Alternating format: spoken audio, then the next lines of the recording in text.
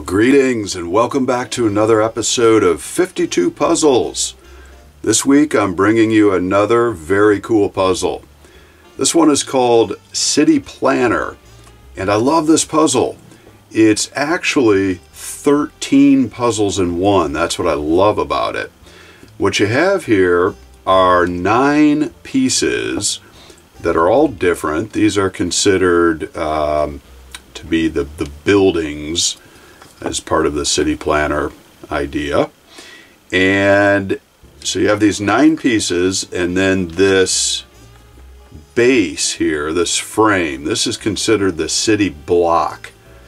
And then you have this piece, which is considered the water tower. So if you notice in the city block, there are peg holes. And there happen to be 13 peg holes.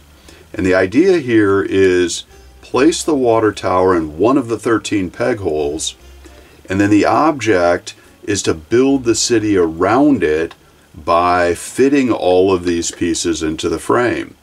I'm going to tell you, this is not an easy puzzle. This is a level 4 puzzle all the way. Very, very challenging to solve this one way. But if you do solve it, you dump the pieces, move the tower to a different location, and now it's a whole new puzzle. So that's what's cool about this city planner puzzle. I really enjoy this puzzle. This is one that could entertain for a lifetime. So I'm not going to show you all 13 solutions today, but I will show you one of the solutions. So we'll go ahead. Uh, again, if you if you don't want to see the solution, uh, then I encourage you to turn the video off now. But if you do want to see the solution, here it comes. All right, so the solution to uh, one of the solutions to the city planner puzzle. So again, I'm going to place the water tower in this location here. And we'll take a quick look at these pieces. Uh, they're all different, like I said. So what you're concerned about really is the base of each of these pieces. That's what's going to uh, make contact with the base of this city block. So in other words, this particular piece, if it were to go here, it doesn't matter really if it goes like that. Well, I guess it does in that case. if it's, uh, let's say if it's a one um, block wide piece, it doesn't really matter if it goes like that or if it goes like that.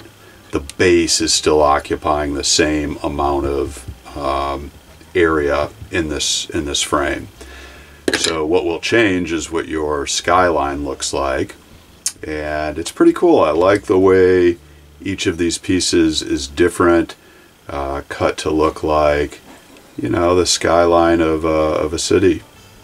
So anyhow, this is how this particular solution goes with the water tower in this position, if I remember this correctly. Uh, so the first piece is going to be this piece right here. You see it's kind of uh, um, three cubes in this direction, three that direction, two there. So uh, it is going to lay just like this in the corner and that little notch there is going to hug that water tower. So that's the first piece. And then I recall the second piece is the small piece here, this little guy. So that one will go here, like that. And then the next piece is, let me see, it was, if I remember right, this piece right here. So again, sometimes it's easier to look at the the bottom, at least for a purpose of um, demonstrating this solution. Um, I'm filming from above, so you don't necessarily get an appreciation of what these pieces look like unless I turn them sideways. So this piece goes like this. There you have. And then the next piece is this single piece here. So it's only one block wide.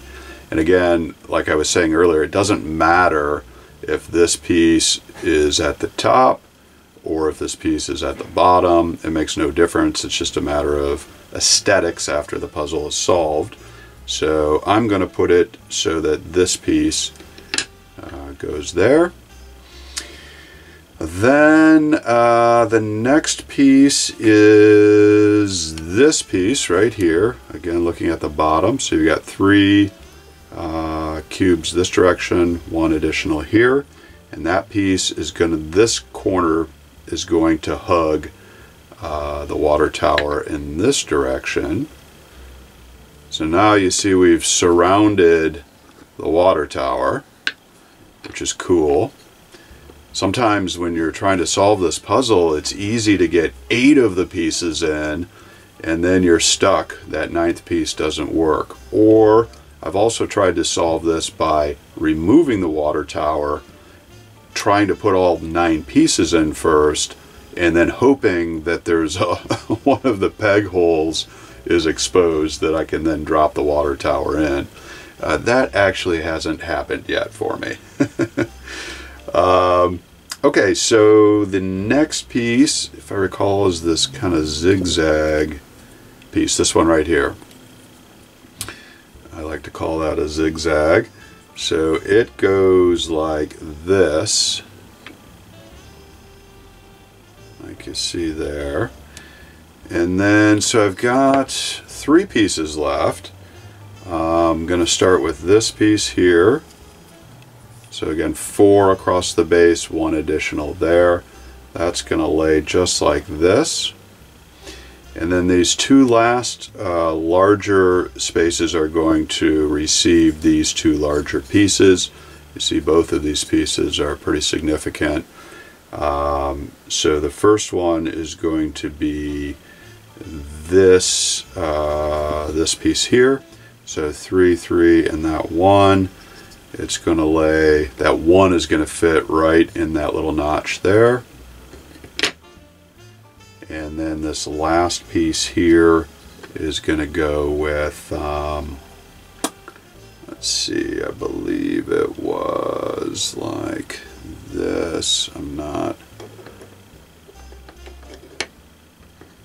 There we go. And there you have it. So one of the 13 solved iterations, that is really cool looking. When this is solved, it's really uh, it's really a beautiful puzzle. Uh, hopefully you're you can see that. I'm trying to tip it so you get an idea without uh, dumping the pieces out. So that looks real, uh, real cool on, you know, just sitting on the, uh, on the table. So the City Planner, that's a fun one. I thank you for joining me today. Um, stay tuned for the next episode. I've got a Tucker Jones tavern puzzle coming up in the next episode. So I love those tavern puzzles. The name of the channel is 52 Puzzles. Please subscribe and uh, please give me a thumbs up if you like the video. Until next time, enjoy your puzzling!